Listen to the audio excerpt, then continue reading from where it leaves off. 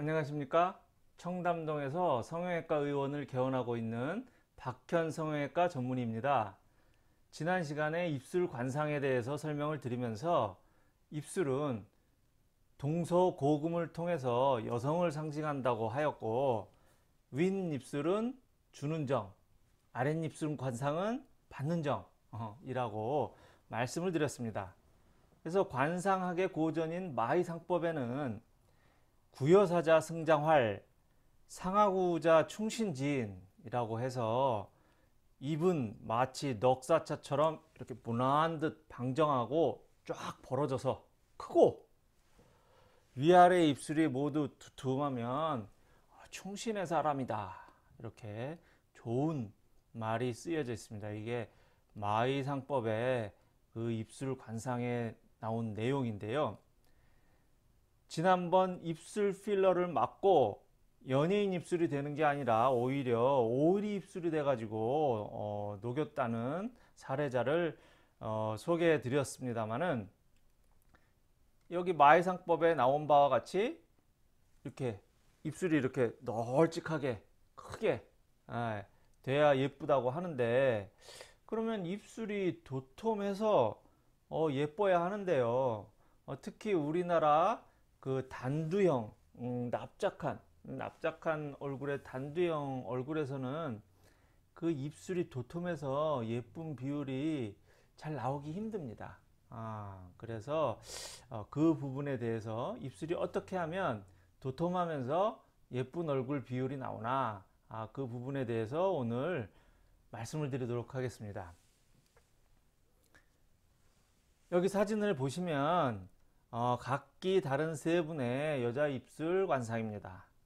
어, 왼쪽과 중간의 여자의 입 관상 이 표정이 좀 어색하죠? 어, 이러한 여자 입술 관상이 일명 썩소가 나오는 입술입니다. 어, 오른쪽과 같이 이렇게 환한 어, 웃음이 나오지 않습니다. 그러니까 환자분들이 좀 잘못 알고 계신 점이 그 왼쪽 두 분과 같은 어, 입 모양이 그 입꼬리 수술을 해서 입꼬리 이렇게 올리면 그 오른쪽과 같이 어, 예쁜 얼굴로 예쁜 웃는 얼굴로 될 것이라고 오해하시는 분들이 대부분이십니다. 어, 그런데 뭐 이에 대해서 어, 설명을 드리자면 여기 보시는 두 여성의 입술이 입꼬리가 올라가 있음에도 불구하고 여전히 어, 썩소나 비웃는 표정이 되는 것을 알고 보실 수 있겠습니다. 따라서 이러한 표정이 지어지지 않도록 우리가 잘 분석해서 어, 성형을 해드려야 하는데요.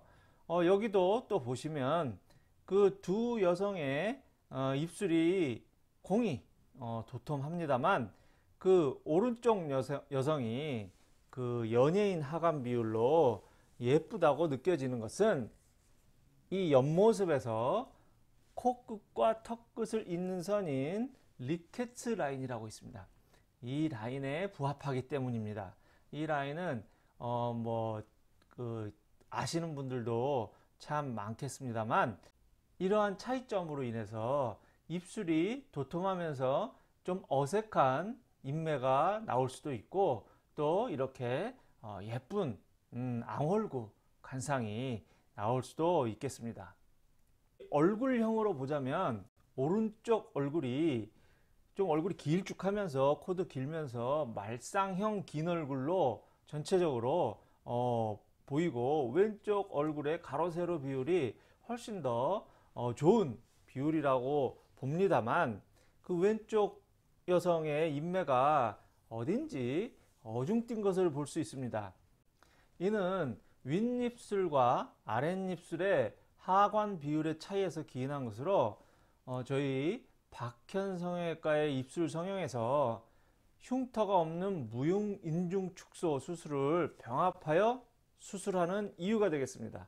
이러한 방법은 입술 필러를 맞아서 오리 입술이 되지 않도록 하는 방법이 되겠습니다. 오늘 시간에는 윗입술과 아랫입술이 어떤 비율일 때 예쁘고 어떤 비율일 때 어색한지에 대해서 말씀을 드렸고요. 여성의 경우에 있어서 나이가 들매에 따라서 가슴살이 빠지고 엉덩이 살이 빠지면서 어, 처지게 되는데 입술 살도 입술의 볼륨도 풍선에 바람이 빠지듯이 빠지게 되겠습니다. 그것이 입술 주위의 노화인데 이럴 때 어, 얼굴 노화 주름 성형 수술을 하면서 뭐 안면 거상술을 하고 또 이마 거상술을 하고 어, 얼굴에 주름을 쫙쫙 다 보톡스로 다 피고 어, 해서 주름이 하나도 없는 팽팽한 얼굴임에도 불구하고 인중이 이렇게 길어지고 입술이 이렇게 얇아져서 그 나이 들어 보이는 중년 연예인들이 많습니다. 그래서 다음 시간에는 입 주변부의 노화에 대해서 제가 2016년도에 대한성형외과 학회에 발표한 자료를 가지고 설명을 드려보도록 하겠습니다. 감사합니다.